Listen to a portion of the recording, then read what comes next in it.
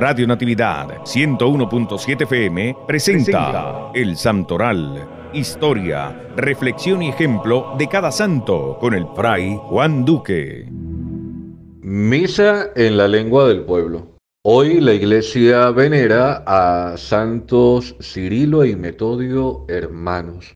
Los sacerdotes Cirilo y Metodio hermanos en sangre y en el sacerdocio fueron llamados a Roma a fin de aclarar sus actividades misioneras en tierras de eslavos.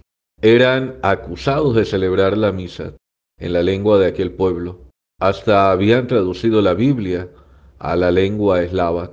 El Papa octavo oyó con mucho interés las explicaciones de los dos acusados. Eran muy sensatas.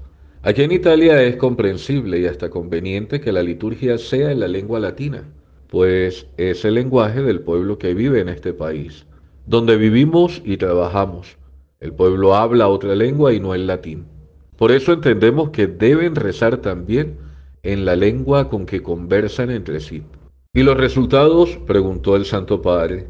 Por lo que hemos podido comprobar son excelentes. Por lo menos entienden las palabras. En cuanto al sentido, preferimos que el mismo Espíritu Santo haga su parte que es la más importante, iluminar.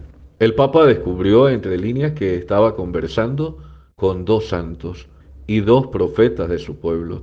Vuelvan a su trabajo, hijos míos. Continúen dóciles al Espíritu que los empuja.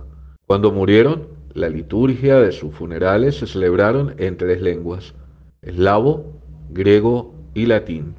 El pueblo que andaba a oscuras vio una gran luz los que vivían en tierra de sombras, una luz brilló sobre ellos. Acrecentaste el regocijo, hiciste grande la alegría. Alegría por tu presencia. ¿Cuál la alegría de la ciega? Como se regocijan repartiendo el botín. Porque el yugo que les pesaba y la pinga de su hombro, la vara de su tirano has roto, como el día de Madián. Isaías capítulo 9, del versículo 1 al 3.